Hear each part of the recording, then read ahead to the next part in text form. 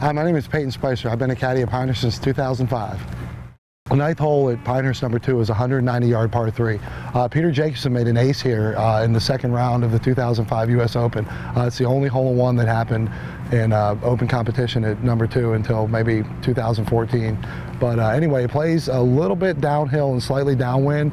Uh, on the left pin, you want to just take cover yardage for the bunker, usually generally five to six yards off. And on the right, you just keep it maybe about the pin yardage and then keep it left of the hole. Again, you know, the, the wind at Pinehurst, you know, there's not a lot of it, but whenever you get any, it really bounces in the corner there.